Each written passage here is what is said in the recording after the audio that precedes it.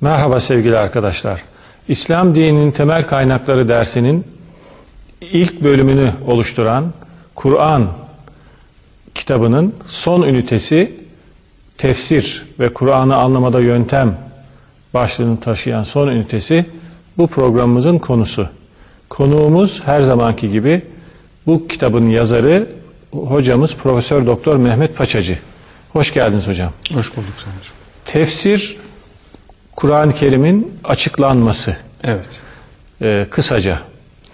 Ee, Kur'an-ı Kerim'i baştan sona okuduğumuzda bizden talebi oku, düşün, anla, yaşa diyor. Bugün buna okuma teknikleriyle ilgili kitaplarda etkin okuma diyorlar. Dolayısıyla metinle insanın ilişkiye girip o metinden yararlar elde edebilmesi Kur'an'ın da bize e, önerisi şeklinde o karşımıza çıkıyor. Oku, düşün, anla, yaşa. Peki tarihte biz bunun Hazreti Peygamberle başladığını biliyoruz. İsterseniz Hazreti Peygamber bu oku, düşün, anla, yaşayı nasıl yaptı? Yani Kur'an nasıl tefsir etti? Ondan sonra sahabiler, onun eğittiği insanlar, peygamberimizin eğittiği insanlar, sahabiler bu sorumluluğu nasıl yerine getirdiler? Ve sonra onları izleyen tabiiler dediğimiz tabiiler Evet. ve ardından onları da izleyen onların öğrencileri olan tebe-i tabi'in ve günümüze kadar nasıl oldu? Ardından da her Arapça bilen veya her e, kendi dilinde yazılmış Kur'an yorumu, tefsiri okuyan, Kur'an'ı e, Anlamış. anlamış olur mu ve kendisi bir açıklama yeterli elde etmiş bulunur mu? İsterseniz bunları sırasıyla lütfedin bize anlatın. Buyurun. Şimdi tabii Kur'an-ı Kerim peygamberimize inmiş. İlk muhatabı e, vahyin, Kur'an vahyinin ilk muhatabı peygamberimiz aleyhissalatü vesselam. Peygamberimiz e, bu e, görevi aldıktan sonra ne yapıyor? E, mesajı toplumuna iletiyor. Tebliğ ediyor. Tebliğ ediyor. evet.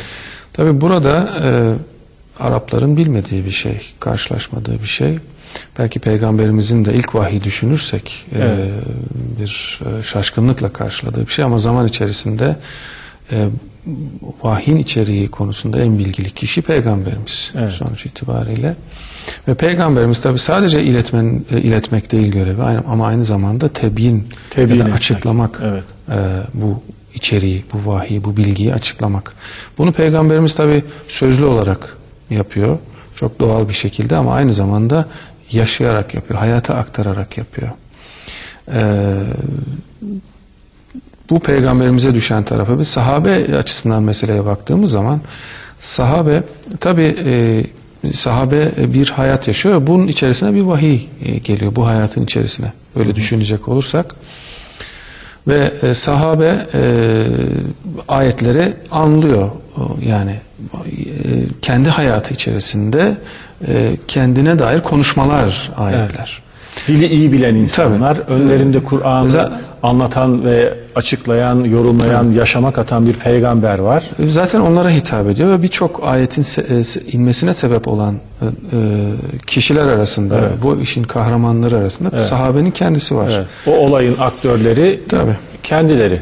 Kendileri dolayısıyla Kur'an'ı e, böyle kendiliğinden e, hayat içerisinde e, anlıyorlar. E, birlikte bir, bir anlamda vahiyle birlikte yaşıyorlar ve e, dolayısıyla sahabenin peygamberden sonra sahabenin Kur'an'ı anlamasına dair bilgiler bizim için çok önemli. Evet. Ee, bu sadece tefsir açısından değil yani Kur'an'ın cümlelerinin tek tek açıklanması e, onların arkasındaki doğru anlamın te- tespit edilmesi için e, sadece tefsir açısından değil bütün İslam bilimleri açısından son derece önemli. Onların e, anlamaları e, anlamalarına dair en ufak bir ipucu ve e, yaşantıları son derece e, önemli ve İslam düşüncesi, İslam bilimler geleneği e, bunun son derece de farkında ve bunu sistemleştirmiş. Bunu biraz sonra belki daha üzerinde ayrıntısıyla durabiliriz. Dolayısıyla Peygamberimiz Kur'an'ı ilk açıklayan kişi ama aynı zamanda onun onu öğreten kişi Evet. e, e, ve e, sahabe onun arkadaşları da bu anlamda vazgeçilmez e, bir öneme sahip bizim için. Evet. E, Evet. e, Tabi sahabe e, bu olayları, vahiy olaylarını birlikte yaşıyor olmakla bütün Kur'an'ın içeriğine e, sahip mi, anlıyor mu? E, peygamberin önderliğine e, ihtiyaçları vardı. Evet, Mesela namaz konusunu örnek olarak verecek olursak, e, Kur'an'da namaz kılınması emrediliyor. Namazın bazı hareketlerinden de bahis söz konusu. Evet. Bahis ediliyor, bahis var. Fakat bunların nasıl yaşanacağı, bunların nasıl pratize edileceği e, konusunda peygambere muhtacız. Bu her zaman verilen bir örnektir. Çok meşhur bir örnektir. Ama e, oldukça da yerinde bir örnektir. İmam Şafii mesela kitabında bu örneği verir. Yani peygamberin bu anlamda önderliğine, öğreticiliğine ihtiyaç vardı. Evet. Peygamber bu anlamda vazgeçilemez bir yerde. Arkasından onun ashabı. Evet. Tabi bu bilgiler nesilden nesile aktarılıyor. Burada bir örnek verebilir miyim? Mesela e, Medine döneminde Evet. e, içinde bulundukları sosyal ortamda ehli kitaptan insanlar da var. Evet. E, Buhari'de e, İmam Buhari'nin El Camiü Sahih isimli hadis kitabında gelen bir haberde şöyle anlatılıyor. Diyor ki e, ehli kitap Evet. kendi kutsal kitaplarını İbranice okurlar ve ehli İslam'a, Müslümanlara da Arapça olarak tefsir ederlerdi, yorumlarlardı. Bu durumu tabi Hazreti Peygamber hayatın içinde toplumsal akış nasıl gidiyor bilen bir insan olarak kendisine de bu bilgi ulaştı ve arkadaşları sordular ne yapalım bu durumda diye. O onlara şöyle söyledi. Dedi ki onların söylediklerini mutlak anlamda doğrulamayın ve mutlak anlamda da yalanlamayın. Yani söylediklerinizi aa ne güzel bu anlattığımız Kur'an'ın tefsiridir demeyin. Bu, çünkü yanılmış olabilirsiniz. Veya yalanlamayın. Doğru olan bir şeyi yalanlamış olabilirsiniz. Arkasından da Bakara suresinin bütün peygamberlerin söylediklerine inanmamız gerekir içeriğindeki ayet-i kerimeyi okudu. Evet. Dolayısıyla işte bu hayatın içinden Hazreti Peygamber'in bir tefsiriydi ki siz buna vurgu yapıyorsunuz. Evet. Yani burada tabii çok dolaylı anlatımlar e, bizim tefsir kitaplarımızda e, mesela bu verdiğiniz örnek buna çok güzel bir e, örnek teşkil ediyor e, ak- aktardığınız rivayet. E, dolaylı da olsa yani peygamberimizin her sözü her davranışı aslında Kur'an-ı Kerim'in bir tefsiri. Evet. Bunu tabi e, geçmiş e, dönemlerde bizim alimlerimiz kullandılar. E, kullanıla geldi bu rivayetler. Doğrudan doğruya ayetlerin açıklaması da olabilir. Evet. E, Bu tabii ki e, doğrudan doğruya bir tefsir. Fakat aynı zamanda e, dolaylı ifadelerle e, ayetlerin tefsirlerini e, Peygamberimizin yaşantısında, onun sözlerinde, ashabın yaşantısında, Evet. onların sözlerinde görüyoruz. Evet. Görüyoruz. E, daha sonra tabii sa- sahabeden sonra e, te- tabiun nesli gelir. E, teknik Yani sahabilerinin yetiştirdiği öğrencilerin Evet. oluşturduğu daha sonraki nesil, daha sonraki sahabeden sonra peygamberimizin arkadaşlarının neslinden sonraki Evet. e, nesil. E, onlar da bi- bu bilgileri e, kaçınılmaz olarak bir önceki nesilden aldılar. İslam'a dair bilgileri, Evet. Kur'an'a dair Evet. bilgileri e, e, bir önceki nesilden, sahabeden aldılar. Aktarılarak tabi, e, tabiuna ulaştı. Daha sonraki nesil, tebe-i tabiun nesli, daha sonraki, yani ondan sonra gelen nesil. Ve böyle nesilden nesile aktarılan bilgiler söz konusu. Evet. E, Kur'an'ın açıklanması ile ilgili olarak. Tabi zaman içerisinde e, çeşitli, daha farklı bilgilere ihtiyaç Evet. oldu. Metnin anlaşılması, açıklanması anlaşılması için. açısından. Şimdi tabi biliyoruz e, Kur'an-ı Kerim Arapça, sahabe Arapça konuşuyor. Dolayısıyla onlara Arapçanın tekrar Arapça ile açıklanması gibi bir ihtiyaç söz konusu değil. Yani zaten kendiliğinden anlaşılan bir metin, bir söz ortada. Fakat yavaş yavaş e, bu ilk nesilden uzaklaşılınca Arap olmayan unsurların Müslüman olmasıyla e, artık e, Arapçanın e, farklı şekilde ele alınması ihtiyacı ortaya çıktı. Bu da tefsirlere yansıyor tabii. Yani Kur'an-ı Kerim'in Arapça olması artık tefsirlerde gramatik açıklamaların e, yapılması gerekliliğini ortaya çıkardı. Daha sonraki nesillerde. İlk nesilde belki buna ihtiyaç yoktu ama daha sonraki nesillerde bu kaçınılmaz olarak bir ihtiyaç ortaya e, çıkardı. Ve, ve e, Arap e, Kur'an-ı Kerim'de kullanılan kavramların, kelimelerin e, anlamlarının açıklanmasına ihtiyaç e, oldu. Evet. Çünkü daha sonraki nesiller dediğimiz gibi Arap olmayan nesiller olabiliyordu ve e, bu zaman zarfında aslında e, yaşayan her dilin e, bir e, farklılık geçirdiğini dikkate alırsak Evet. e, Arapçada bir yü- 50 sene sonra peygamberimizden bir 100 sene sonra bir 150 son- sene sonra bir farklılaşmaya geçiriyor e, ister istemez Evet. doğal olarak. Dolayısıyla işte Kur'an'ın indiği dönemdeki Arapçaya ulaşabilmek için bu sefer dil çalışmaları Evet. yap- yapmak gerekti. Lügat çalışmaları Evet. yapmak gerekti. Evet. Yani e, anlam açısından e, ayetlerde kullanılan kelimelerin ilk söylendiği andaki o dönemdeki anlamları neydi? Evet. Bunun ortaya çıkarılma ihtiyacı ortaya çıktı. Belki aynı kelime 100 sene sonra Kur'an'da kullanılan bir kelime Evet. çok farklı bir anlamda kullanılıyordu. Evet. E, siz o e, farklı anlamda ayeti açıklamaya kalkarsanız e, tabii ki doğru anlamı yakalayamazsınız. Bu e, bunu bunun önüne geçebilmek için dil dil çalışmaları yapıldı. Gramer çalışmaları yapıldı. Kur'an'ın ayetlerinin gramatik olarak analizi, dil açısından analizi, anlam açısından analizi için e, bunlar gerekliydi. Ama aynı zamanda e, ayetlerin e, ayetlere doğru anlam verebilmek için onların indiği tarihi şartların da daha sonraki nesillere aktarılmaları gerekiyordu. Çünkü Kur'an-ı Kerim'de onları bunları bulamıyoruz. Evet. Peki bunları nerede buluyoruz? Yani Kur'an-ı Kerim'in indiği şartları e, e, Resmeden- ayetlerin evet ayetlerin indiği şartları bize anlatan bilgileri nerede buluyoruz? İşte ilk nesilde yine peygamberimize dönmek durumundayız. Peygamberimize dönüyoruz. Onun anlattıkları yaşantıları e, ve sahabenin anlattıkları yaşantıları, açıklamaları vesaire. E, dolayısıyla bütün bu bilgileri bir araya getirerek Kur'an-ı Kerim'in e, doğru anlamını yani indiği zaman tefsiri böyle açıklayabiliriz teknik anlamda, ıstılahi anlamda. Kur'an'ın ayetleri indiği zaman ne anlama geliyordu? Evet. Bunu ortaya çıkarabilmek için bu bilgilere ihtiyaç var. Evet. Bu biraz önce. Yani nedir toparlayacak olursak Arap diline ihtiyaç, Arap dili bilgisine ihtiyaç var. Burada tabi Arap dili Gramer olarak ihtiyaç tabii, var. Tabii Arap dili bilgisinden kastımız da e, bugünkü Arapça değil. Kur'an'ın indiği, İndiği dönemdeki Arapça evet. ve o dönemdeki Arap grameri bilgisine ihtiyacımız var ve aynı zamanda o dönemin şartlarını bilmemiz gerekiyor. Bir ayet indiği zaman hangi şartlarda inmiş? Eğer bunu bilemezsek e, yanlış anlam verebiliriz. Evet. Tabii bütün ayetlerin indiği şartları bilemiyoruz ama Evet.